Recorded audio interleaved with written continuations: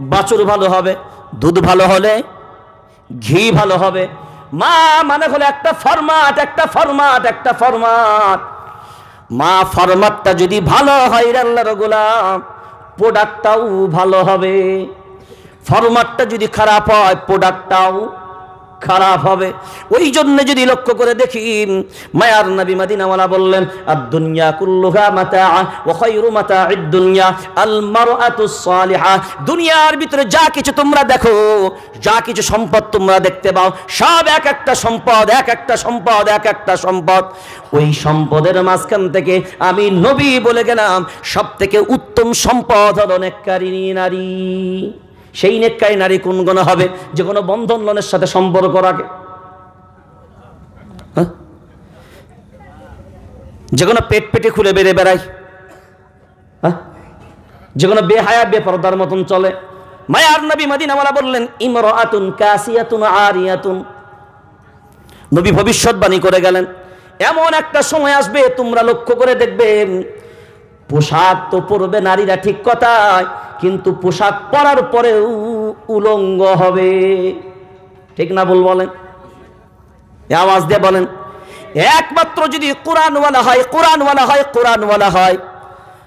যদি নবীর আদর্শওয়ালা হয় একমাত্র যদি মা আয়েশার জীবনী তাদের সামনে থাকে, মা খাদিজার জীবনী যদি তাদের সামনে থাকে, দিন শরীয়তের আইন যদি তাদের সামনে থাকে আল্লাহর গোলাম, একটা কথা স্পষ্ট ভাষায় আপনাকে বলছি, শুনে রেখে দেন। এই যে স্টেজটা আমাকে জলসা করতে দিয়েছেন অনেক ওলামা স্টেজে বসে আছেন। আমি সিদ্দিকুল্লাহ এখানে বায়ান করছি স্টেজের উপরে পা দিয়ে। এই যে তক্তাগুলো তক্তাগুলো সব কাঠের তৈরি তক্তা। এই কাঠের তৈরি তক্তার উপরে আমি সিদ্দিকুল্লাহ পা দিয়ে জলসা করি। সব ওলামারা পা দিয়ে দাঁড়িয়েছেন এই জায়গায়। খুব লক্ষণীয় বিষয়, এই জায়গায় লক্ষ্য করে দেখেন, কাঠের তৈরি তক্তার উপরে আমি সিদ্দিকুল্লাহ পা দিয়ে জলসা করি। এখানে যদি লাথি উমারে কোনো সমস্যা আপনারা যদি লাথি মারেন কোনো সমস্যা খুব যদি ভাবনা চিন্তা করে দেখেন, আপনার আমার প্রত্যেকের বাড়িতে যদি তালাশ করে দেখি, একটা করে কাঠের টুকরো রেহাল খুঁজে পাওয়া যাবে। আছে না নাই? কাঠের টুকরো রেহাল খুঁজে পাওয়া যাবে। এই কাঠের তৈরি তক্তার মাঝখান থেকেই একটা টুকরো দিয়ে রেহাল কাঠ বানানো হলো। মাদ্রাসার ভিতরে যাবেন, সেখানেও কাঠের রেহাল খুঁজে পাওয়া যাবে। কোরআন রেখে তিলাওয়াত করা হয়, কাঠের টিপায় খুঁজে পাওয়া যাবে, টেবিল খুঁজে পাওয়া যাবে। একজন মুসলমান তুমি দাঁড়িয়ে বলো ওই কাঠের টুকরো রেহালটাকে নিয়ে এসে যদি স্টেজে রাখা হয়। আর যদি আমার সামনে বলেন সিদ্দিকুল্লাহ অনেকক্ষণ ধরে অনেক বড় বড় কথা বললি এটাও তো কাঠের তৈরি একটা তক্তা ওটাও তো তক্তা। ওর উপরে যদি পা দিয়ে দাঁড়িয়ে জলসা করতে পারিস এই কাঠের টুকরোটার উপরে পা দিয়ে কেন জলসা করতে পারবি না? ওই রেহাল কাঠটা যদি আপনার সামনে রাখা হয় লাথি মারতে পারবেন? পা দিয়ে মারাতে পারবেন? ছুঁড়ে ফেলে দিতে পারবেন। কেন? এই কাঠ, এটাও তো কাঠ, ওটাও তো কাঠ। ওর কাঠটার সম্মানটা কোথায়? এক বাক্যে সবাই বলবেন, হুজুর, ওই কাঠটার উপরে যেহেতু কোরআনুল করিম স্পর্শ হওয়ার কারণে ওই কাঠটার উপরে পবিত্র কোরআনুল করিম রেখে তিলাওয়াত করা হয়, ওরে কাঠেরই টুকরো, ওটা কিন্তু কোরআনুল করিম না। শুধুমাত্র কোরআনুল করিম ওর উপরে রেখে তিলাওয়াত করা হয়। ওই জন্য যদি কাঠের টুকরোটার সম্মান আল্লাহ এতটা বাড়াতে পারেন, দুনিয়ার জমিনে কেউ লাথি মারতে পারবে না, কেউ ছুঁড়ে ফেলতে পারবে না, কেউ পা মারাতে পারবে না, ওরে আল্লাহর গোলাম, একটা কাঠের স্পর্শ যদি কোরআন স্পর্শ হওয়ার কারণে কাঠের সম্মান, মর্যাদা যদি আমার আল্লাহ এতটা বাড়াতে পারেন, যে নারীর ভিতরে কোরআনের জ্ঞান থাকবে, যে মানুষের ভিতরে কোরআনের জ্ঞান থাকবে, আমি, আপনি যদি কোরআনওয়ালা হয়ে যেতে পারি, সারা পৃথিবীর বেইমানগণ একটা পশম পর্যন্ত বাঁকা করতে পারবে না। সব কোরআন ভোলা আমরা। ওই জন্য তালাশ করে দেখবেন যে মুহূর্তে বাচ্চারা কোরআনের তালিমের জন্য মাদ্রাসায় কোরআন সামনে রেখে পড়ে দেখবেন সব সাপের ফোনার মতন দোলে। এরা ম্যাডাম ইংরাজি পড়ল দুললো না, বাংলা পড়ল দুললো না, অঙ্ক করল দুললো না, হঠাৎ করে কি এমন হয়ে গেল সাপের ফোনার মতন কোরআনের সামনে দোলে কেন? আমরা খুব লক্ষ্য করে দেখেছি রে আল্লাহর গুলাম। মাদ্রাসায় সাধারণত যে ছেলেগুলোকে আমরা দিই, ওই সময় প্রেস ক্লাবে দাঁড়িয়ে আমরা বলেছিলাম সোরেন টু পার্সেন্ট ছেলে মাদ্রাসায় পড়ে, কিন্তু যে ছেলেগুলোকে মাদ্রাসাওয়ালারা মানুষ করে, অধিকাংশ ক্ষেত্রে যে ছেলেগুলোকে মাদ্রাসাওয়ালারা মানুষ করে, যে বাচ্চাগুলোকে, সব জেনুইন ব্রেনি ছেলে।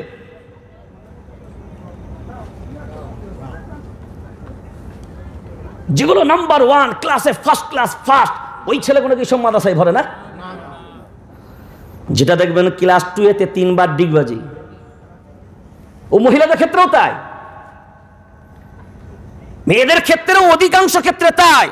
যখন দেখছে আর ও লাইনে হচ্ছে না, হেডমাস্টার বলছে, ও সলিমুদ্দিন ভাই, এই হবে না। এ টুয়েতে যদি তিনবার মারে, তো মাধ্যমিক কতবার মারবে? এ ঘোড়ার ট্যাং এত ব্যাগ পাবে যে ওর বরকে সারা জীবন ব্যাগ কিনতেই হবে না।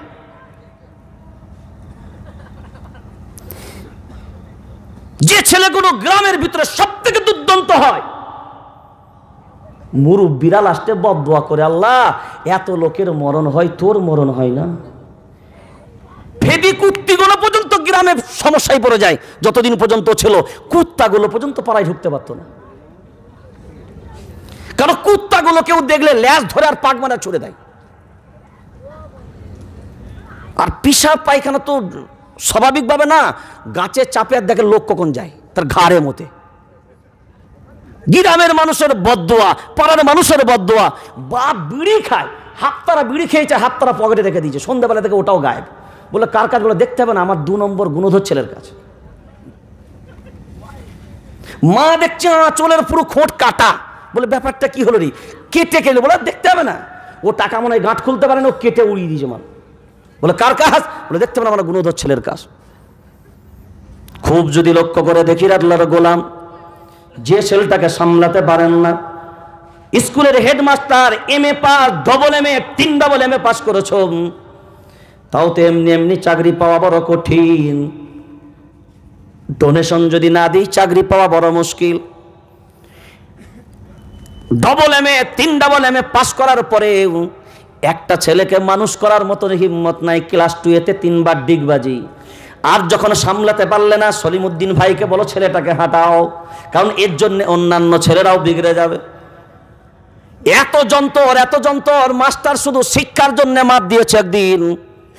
ও স্কুলের ক্লাস থেকে নিচেই নেমে এসে মোটর সাইকেলের হাওয়া খুলে দিয়েছে। বলে বুঝাবে বেটা কাজকে প্রাইভেট মাস্টার যেমনি মেরেছে, বেটা বাইরে বেরিয়ে শিকল তুলে তালা মেরে দিয়ে পালিয়ে গেছে।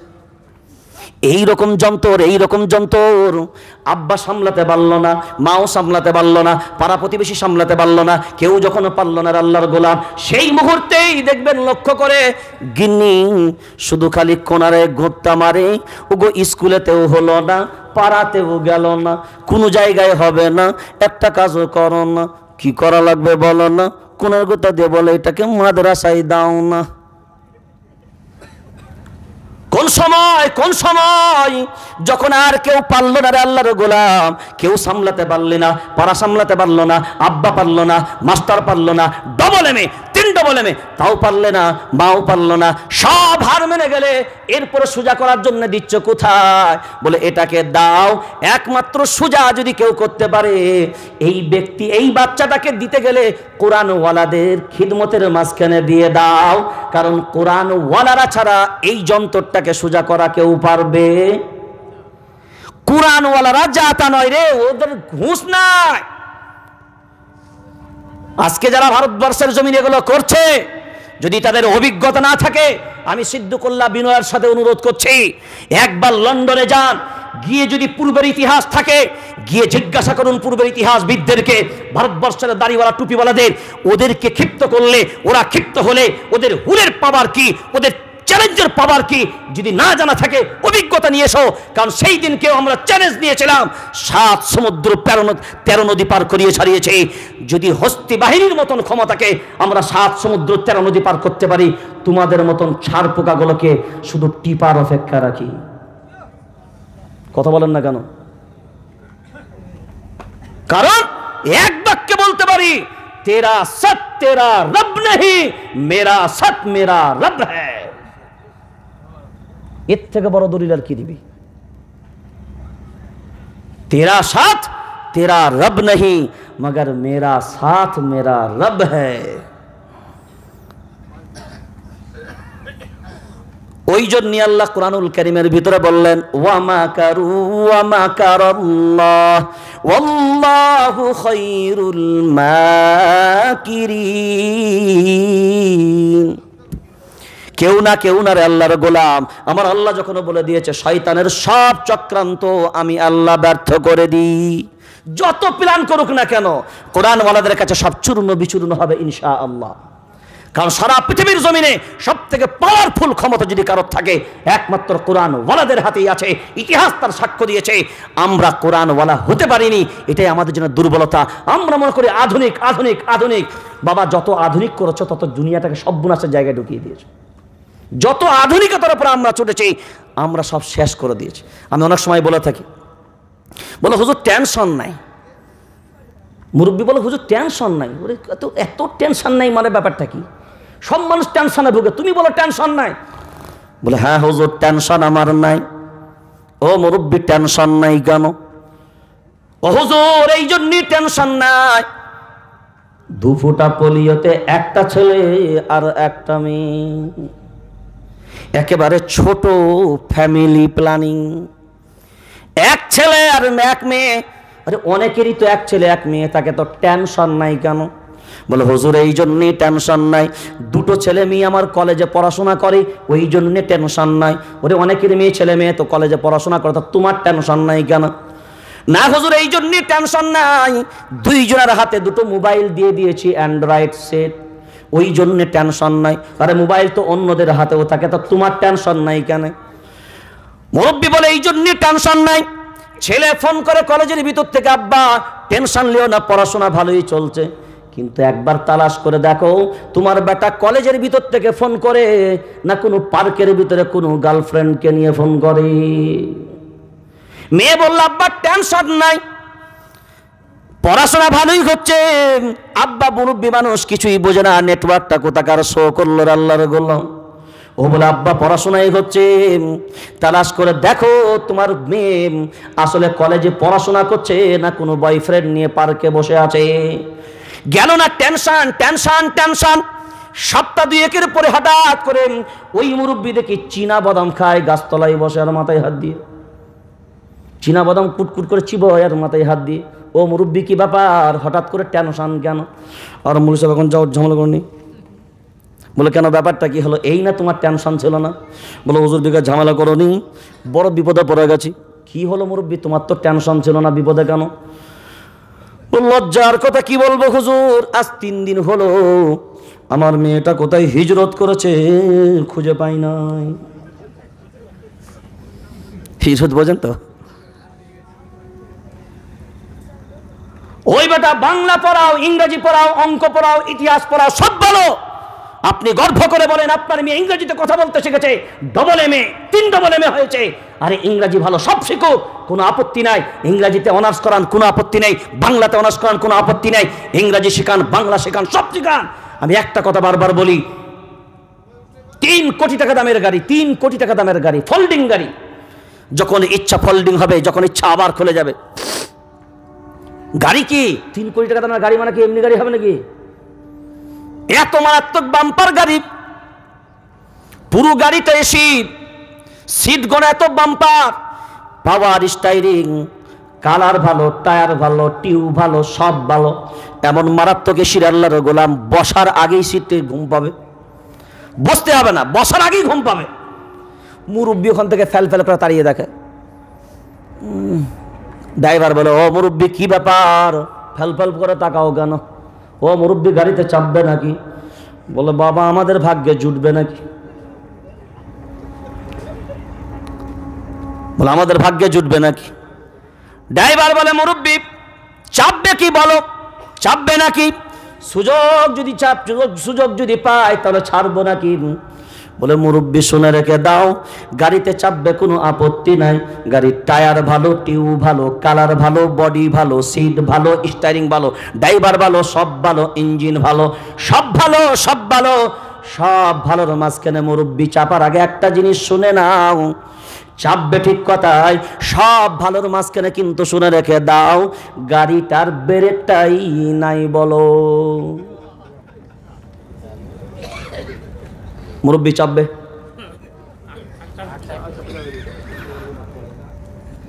ওই আল্লাহর গোলাম, ইংরাজি ভালো, অঙ্ক ভালো, বাংলা ভালো, সব ভালো সব ভালো সব ভালো, কোনো আপত্তি নাই।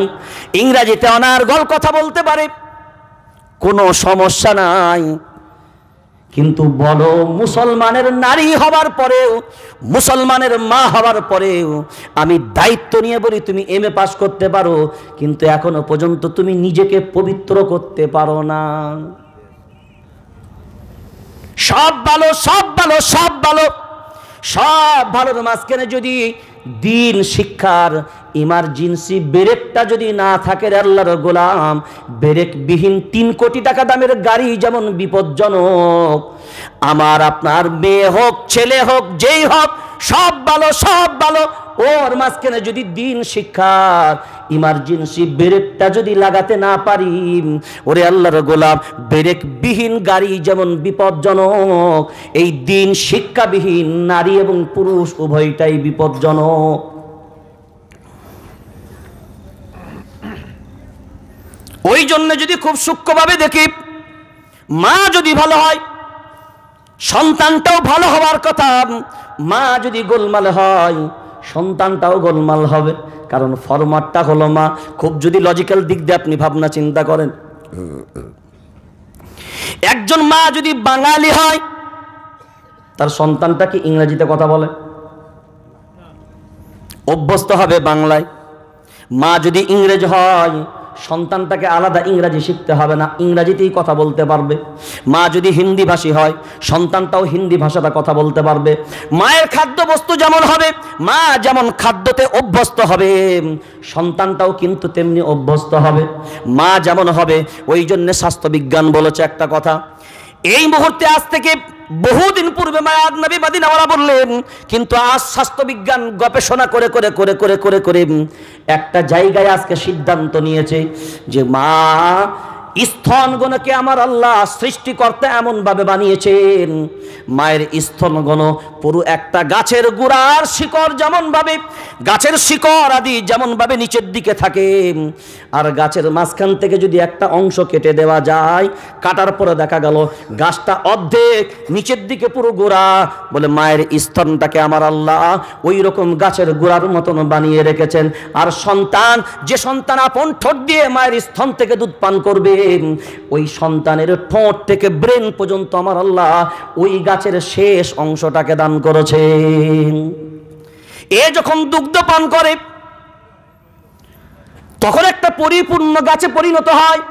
এ যেমন ভাবে দুগ্ধ পান করবে, মায়ের ভিতরে যেমন ভিটামিন গুণ থাকবে, মায়ের আখলাক যেমন হবে, মায়ের চৈত্র যেমন হবে, আস্তে আস্তে ছেলের ভিতরেও সেই গুণ, সেই চৈত্র গুণ ঢুকতে থাকবে। খুব যদি লক্ষ্য করে দেখি আল্লাহর গোলাম, একটা ইতিহাস আপনার সামনে শুধু আমি শুনিয়ে যাই। একজন মা আলেমা হবার কারণে, কোরআন এবং হাদিসের জ্ঞান থাকার কারণে তার একটা সাত থেকে আট বছরের সন্তান একদিন মাকে প্রশ্ন করে, বসে গো মা, আমরা যে প্রত্যেক দিন খাবারগুলো খাই, এই যে খাবারগুলো প্রত্যেক দিন আমরা পাচ্ছি, এই খাবারগুলো আসে কোথা থেকে? কোথা থেকে আসে এটা তো আমি কোনোদিন দেখতে পাই না। মা যেহেতু কোরআনের জ্ঞানই ছিল, মা যেহেতু হাদিসের জ্ঞান তার ভিতরে ছিল, মা যেহেতু একজন আলেমা ছিল, ওই জন্য মাটা সহজ ভাষাই ছাত্র ছেলেটাকে বলল, ও আব্বারে, এই যে আমরা প্রত্যেক দিন খানাগুলো খাই খানাগুলো খাই। এর একমাত্র মালিক হলেন আমার আল্লাহ। একমাত্র সেখান থেকে আমাদের খানার ব্যবস্থা করেন, কারণ আল্লাহ হলেন রাজিক তিনি হলেন রিজিকের মালিক। ওই জন্য এই খানার ব্যবস্থা আমার আল্লাহ ছাড়া অন্য কেউ করেন না। সন্তানটাও দেখেন তেমন। ও মা প্রত্যেক দিন তো তোমরা আমাকে খানা দাও। আল্লাহ যদি তোমাদেরকে দেন, আমি কি ডাইরেক্ট আল্লাহর কাছ থেকে পেতে পারি না? মায়ের ভিতরে জ্ঞান থাকার কারণে মা সঙ্গে সঙ্গে ভাবনা চিন্তা করে দেখলেন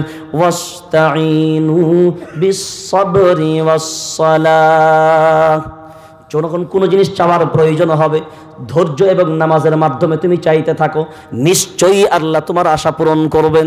মা অনেক কারিতে হওয়ার কারণে, মা আলেমা হওয়ার কারণে সন্তানকে বলে, বাবা, তুমি প্রত্যেক দিন স্কুলে যখন যাবে স্কুলে যাও, স্কুল থেকে যখন তুমি ফিরে আসবে, তুমিও যদি মনে করো আল্লাহর কাছ থেকে ডাইরেক্ট খাবার ব্যবস্থা নেবে, তুমিও আল্লাহর কাছ থেকে ডাইরেক্ট পাবে। স্কুল থেকে আসার পরে হাত মুখটা ভালো করে ধুয়ে নেবে, উজু বানিয়ে নেবে, নামাজের মুসল্লা বিছিয়ে নেবে, দুই রাকাত সলাতুল হাজত নামাজ পড়ে আল্লাহর কাছে হাত তুলে দোয়া চাইবে রব্বি রব্বানা আতিনা ফিদ দুনিয়া হাসানাতাম ওয়া ফিল আখিরাতি হাসানাতাম ওয়া কিনা আযাবান আস্তে আস্তে তুমি দোয়া চেয়ে নেবে, ওগো আল্লাহ, তুমি তো আমার আব্বা মাকে খাওয়ানোর দায়িত্ব নিয়েছো। তুমি যেমন প্রত্যেক দিন আমার আব্বা, মা সবাইকে যেমন খাবারের দায়িত্ব নিয়েছ, ও আল্লাহ, আজ থেকে আমি আমার আব্বার কাছে খাব না, আজ থেকে আমি আমার মায়ের কাছে খাব না। ও আল্লাহ, আমার আব্বা মাকে যে খাবারের ব্যবস্থা তুমি করো, আমি চাই আমার জন্য তুমি আজ থেকে আলাদা খাবারের ব্যবস্থা করে দাও। কারণ আপনি জানেন, কোরআনুল কারীমের ভিতরে এসছে ثم لآتينهم من بين أيديهم ومن خلفهم وعن أيمانهم وعن شمائلهم ولا تجد أكثرهم شاكرين ওরে আল্লাহর গোলাম শয়তান চারিদিক দিয়ে মানুষকে গ্রাস করে চারদিক দিয়ে চারদিক দিয়ে। আমার আল্লাহ বলেন, শয়তান, তোকে অনুমতি দিলাম। চারদিক দিয়ে আমার বান্দাগুলোকে পথভ্রষ্ট করার চেষ্টা কর। কিন্তু তোকে চারদিকটা তোর জন্য খুলে দিলাম। কিন্তু আমার বান্দার জন্য আমার চার দিক লাগবে না। আমার বান্দার জন্য আমি দুটো দিক খুলে রেখে দিলাম। ওই দুটো দিক যদি আমার আল্লাহ আমার বান্দাগুলো ব্যবহার করতে পারে, তুই চার দিক দিয়ে ঘিরে দিও। চার দিক দিয়ে আটকে আমার বান্দাকে আটকাতে পারবি না। আমি আমার বান্দার জন্য তোকে চার দিক দিলাম। আমার বান্দার জন্য দুটো দিক দিলাম। একটা দিক হলো নিচের দিক আর একটা দিক হলো উপর দিক। এই দিকে তুই গ্রাস করতে পারবি না। আমার বান্দা যদি আমার সামনে নত হয় সাজদাই যদি পড়ে যায়, হাত দুটোকে যদি উপর দিকে তুলে আল্লাহর গোলাম। আর কারোর দিকে তাকানোর দরকার হবে না। শুধু দু ফোঁটা চোখের পানি ফেলতে দেরি হবে। আমি আল্লাহ তার জীবনকে পরিবর্তন করতে দেরি করব না। ওই জায়গাটা যদি লক্ষ্য করে দেখি, ওই সন্তান প্রত্যেক দিন স্কুল থেকে আসে। মায়ের কথা অনুযায়ী প্রত্যেক দিন উজু বানিয়ে নেয়। যাই নামাজ বিছিয়ে নেয়, দুই রাকাত সলাতুল হাজাত নামাজ পড়ে নেয়। আল্লাহর কাছে হাত তুলে দোয়া করে, ওগো আল্লাহ প্রত্যেক দিন আমার আব্বা মাকে যেমন খাবারের ব্যবস্থা করে দিতে। আয় আল্লাহ, আজ থেকে আমারও খাবারের ব্যবস্থা তুমি করে দাও। প্রত্যেক দিন মা বলে দিয়েছে, তুমি নামাজ পড়ে দোয়া জেগে নেবে। দোয়া সারার পরে ওই বাড়ির কোণে তুমি যাবে। ওই কোণের ভিতরে দেখবে চাপা দেওয়া আল্লাহ তোমার রিজিকের ব্যবস্থা করে রাখবেন। সন্তান প্রত্যেক দিন দোয়া সেরে নেওয়ার পরে ওই বাড়ির কোণের ভিতরে যায়। দেখেন ঢাকা দেওয়া রয়েছে, খাবার প্রত্যেক দিন পেয়ে যায়। নিজে নিজে খাবার খায়, নিজে নিজে প্রত্যেক দিন খাবার খায়। ওই বাচ্চাটার একিনটা কি হবে? এ রিজিকের মালিকটাকে। কথা বলে না? আর আমাদের গিন্নিদেরকে যদি ছেলে একবার বলে মা এই যে প্রতিদিন খাচ্ছি, এ করতে আসে? কেন? দেখতে পাই না।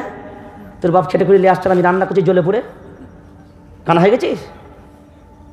কিসের কারণে হবে? দিনের জ্ঞান না থাকার কারণে। আর যদি প্রকৃত দিনের জ্ঞান থাকে, কোরআন ওয়ালা, কোরআন ওয়ালি যদি হতে পারে, তাহলে অবশ্যই তার সন্তানটাও সন্তানটাও তেমন হবে। খুব যদি সূক্ষ্মভাবে দেখেন, এই বর্তমান সময়ে এটা চাপাডালি না? এই চাপাডালি এলাকায় ফেদিকুত্তি আছে? ফেদিকুত্তি পর্যন্ত লেডিসগুলো গো, লেডিস কুত্তি আছে না? বাচ্চা টাচ্চা দেয়? এইদিকে কুত্তিগুলো বাচ্চা দেয় কি? মহানা বলে কোন দিকে দেয় না? বাচ্চা দেয় তো? খুব সূক্ষ্মভাবে, খুব বিবেক দিয়ে ভাবেন। প্রত্যেকে বাচ্চা দেয় কটা করে? চারটা, পাঁচটা, ছটা, আটটা। আমাদের এইদিকে কুত্তিগুলো এত কম দেয়, আমাদের বর্ধমান তো আটটা, দশটা দিয়ে দেয়। আমি যদি গড়ে আটটা করে ধরি খারাপ ভাববেন না। গড়ে যদি আটটা করে বাচ্চা ধরি, ওই যে কুত্তিগুলো বাচ্চা পোষক মানে তাদের ডেলিভারি হয়, তারা মাসে মাসে চেকআপে যায়? খারাপ ভাববেন না। মাসে মাসে চেকআপে যায়? মেডিকেলের বেড আগে থেকে ভাড়া করা থাকে? কেউ চেক করে? কোনো ইঞ্জেকশন ট্যাবলেট কিচ্ছু? যখন ডেলিভারি হয় ডেলিভারির সময় তো অন্তত হসপিটালে ভর্তি হয়। কুত্তিগুলো হসপিটালে ভর্তি হয়। এ ভর্তি হয়? কোথায় ডেলিভারি হয়? কোন খড়ের গাদের ভিতরে পিছনে গিয়ে কোথায় যে ডেলিভারি হয় যখন ডেলিভারি হয় তখন দায় মাতো থাকে। হ্যাঁ? পোষক কোনো সময় দায়মা থাকে না? নার্স তো থাকে। আয়া ডক্টর আচ্ছা এমন হয়েছে আপনাদের মুরব্বীরা বলতে পারবেন ভালো। যে একটা কুত্তি আটটা করে বাচ্চা দেয় ঠিক কথায়, কিন্তু বাচ্চা হতে গিয়ে হঠাৎ করে দেখা গেল, আর নর্মালে ডেলিভারি হচ্ছে না, ওই কুত্তিটাকে সিজার করা লেগেছে। একটা ঘটেছে? আছে? দিনকে বোঝানোর জন্য বলছি। আছে? আটটা করে বাচ্চা কুত্তি যদি ডেলিভারি দেয় সিজার লাগে না, আয়া লাগে না, নার্স লাগে না ডক্টর লাগে না ইঞ্জেকশন লাগে না ট্যাবলেট লাগে না। এমনকি কোন জায়গায় প্রসব করে, পুরুষ কুত্তাগুলোও দেখতে পায় না। ঠিক না বল? আপনি আমাকে বলেন যতক্ষণ মুরব্বী এখানে আছেন। কারণ আমাদের থেকে আপনাদের অভিজ্ঞতা অনেক বেশি। আজ থেকে ২০ বছর যদি আপনি পিছিয়ে যান, কুড়ি বছর। কুড়ি বছর পিছনে গেলে এই সিজার নামের কোনো গল্প শুনেছিলেন? বুকে হাত রেখে বলবেন। সিজার শুনেছেন? এখনকার বাচ্চা কটা করে হয়? এখনকার আমাদের? দুটো যদি হয়ে যায় মনে করে আর বাবা মাজা ভেঙে গেছে। আল্লাহর ইহসান আগেকার মুরব্বীরা আমাদের বারোটা চোদ্দোটা বাচ্চা কোনো ব্যাপার ছিল? ওই জন্য এই যে এখন এনআরসির গল্প চলছে না? তো এনআরসির গল্পতে বলছে বার্থ সার্টিফিকেট লাগবে। অধিকাংশ মুরব্বীগণকে হাত তুলতে পারেন তো কার বার্থ সার্টিফিকেট আমি দেখি? এই বার্থ সার্টিফিকেট আছে? জন্ম সার্টিফিকেট আছে? কেন নয়? সব ডেলিভারি হয়েছে বাড়ির ভিতরে দাইমাদের হাতে। বারো চোদ্দটা করে তখনকার মারা বাচ্চা জন্ম দিয়েছে, প্রসব করেছে। সিজার নামের কোনো গল্প ছিল না। সিজার কেউ বুঝতো না। বিশ বছর পিছনে গেলে সিজার ছিল না। একটা কুত্তি নর্মালে ডেলিভারি করে আটটা বাচ্চা, একটাও সিজার লাগে না। বর্তমান স্বাস্থ্যবিজ্ঞান বলছে, বর্তমানে নব্বই পার্সেন্ট সিজার বিহীন বাচ্চা হয় না। ঠিক না বল? সিজারবিহীন বাচ্চা হয় না। আপনি আমাকে বলেন, বিশ বছর আগে এই মারাই তো ছিল। বিশ বছরের ভিতরে এমন কি পরিবর্তন ঘটলো যে এই বিশ বছর পূর্বে মারা নর্মালে ডেলিভারি দিয়েছে, বারো চোদ্দটা করে বাচ্চা, এখনকার যেমন কুত্তিগুলো নর্মালে ডেলিভারি দেয়। আপনি আমাকে বলেন, এই বিশ বছর পরে এমন কি যুগ পরিবর্তন হলো, এমন কি দিন পরিবর্তন হলো, এমন কি সময়ের পরিবর্তন হলো, এমন কি আখলাখ চৈত্র পরিবর্তন হয়ে গেল? যে এখনকার নব্বই পার্সেন্ট ডেলিভারি সিজার ছাড়া বাচ্চা হয় না কেন? আমাদের মারা খুব নেককার ওই জন্য। বলে আলহামদুলিল্লাহ। সব কিরণ মালার উম্মত। কথা বুঝতে পারে না? সব কিরণ মালার উম্মত।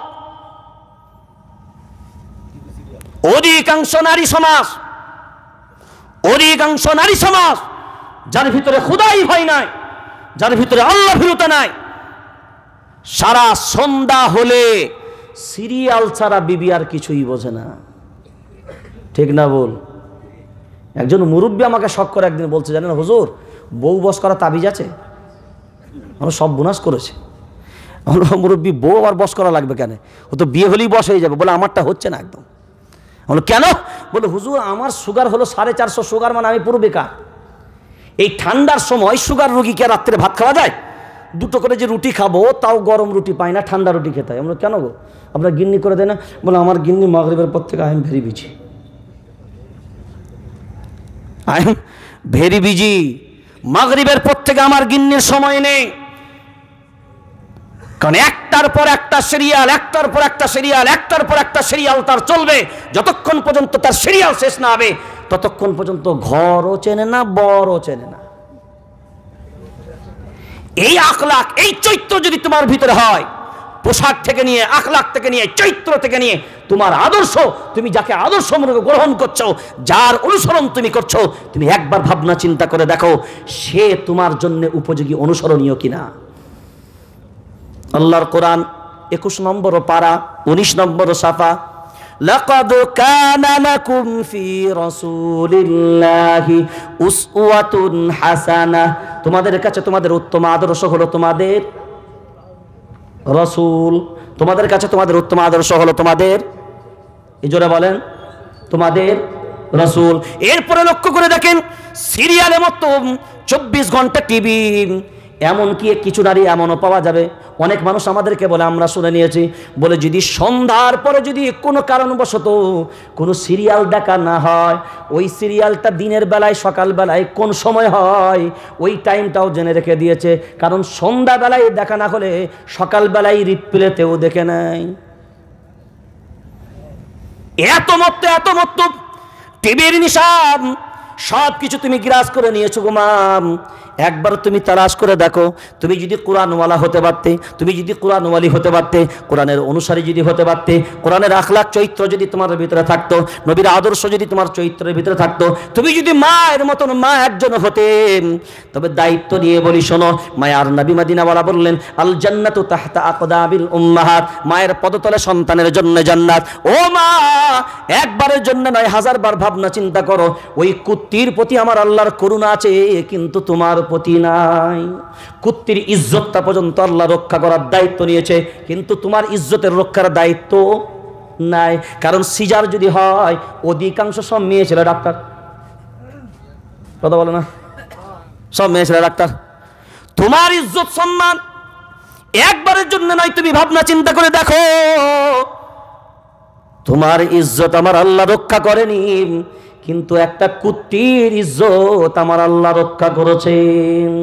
এরপরে তুমি ভাবনা চিন্তা করে দেখো, আমার আল্লাহ তোমার প্রতি রাজি না কুত্তির প্রতি রাজি? ওই জন্যই তো মহিউদ্দিন আব্দুল কাদের জিলানি রহমাতুল্লাহ আলাইহি নওবার আল্লাহ বারকাদা একদিন কুত্তা গিয়ে প্রশ্ন করে বললেন, হে মহিউদ্দিন আব্দুল কাদের জিলানি, আপনি ভালো না আমি ভালো? মহিউদ্দিন আব্দুল কাদের জিলানি রহমাতুল্লাহ আলাই নওবার আল্লাহ বারকাদা তিনি ভাবনা চিন্তা করে দেখলেন, এ কুত্তা যে প্রশ্ন করেছে, এ জবাব দেবার মতন আমার কোনো সময় না সময় না। কারণ আমি যদি কুত্তা, তোমাকে জবাব দিই, আমি ভালো, তুমি খারাপ। তবে আমি ভালো যদি বলি, আমার অহংকার হবে। আর আমি যদি বলি, তুমি ভালো, আমি খারাপ। তবে আল্লাহর কোরআন মিথ্যা হবে। ওয়ালাকাদ আদম, ওয়া